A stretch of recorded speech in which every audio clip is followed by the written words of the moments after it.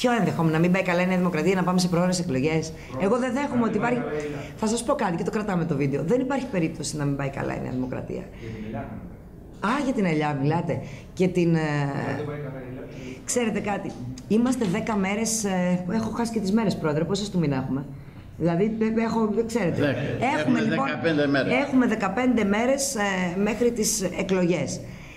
Είναι το τελευταίο που πρέπει να απασχολεί τον κόσμο, απασχολεί τις εφημερίδες και τις τηλεοράσεις και κάποιους που, λίγους που ξέρουν και ασχολούνται με το πολιτικό γίγνεσθε.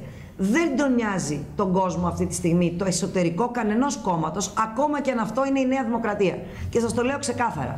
Εμένα, τα, το να, η παραμονή, το άγχος της παραμονής στην καρέκλα των προέδρων και ποιος θα μείνει και ποιος θα έρθει μετά και τι θα γίνει ένα κόμμα και ποιο είναι το μέλλον του κόμματος, είναι το τελευταίο που με απασχολεί τώρα. Εμένα με απασχολεί και αγωνιώ για το τι θα γίνει στη χώρα μου, τι θα γίνει με το μήνυμα των ευρωεκλογών, όπως το λέτε, και το φοβερό διακύβευμα και ποιοι άνθρωποι θα εκλεγούν εκεί, ώστε να πάνε, οι 21 που θα πάνε, να πάνε και να διεκδικήσουν την Ελλάδα της περηφάνειας και του φωτός, που την έχουμε χάσει. Εμένα με νοιάζει να βγουν από οποιαδήποτε κόμματα διεκδικητικές, μαχητικές και σοβαρές φωνές να πούν τι σημαίνει η Ελλάδα σε μια Ευρώπη που δεν θέλουμε να είναι γερμανική, θέλουμε να είναι ισχυρή και με μια Ελλάδα που πρέπει να καταλάβουν ότι χωρίς αυτήν δεν υπάρχει Ευρώπη.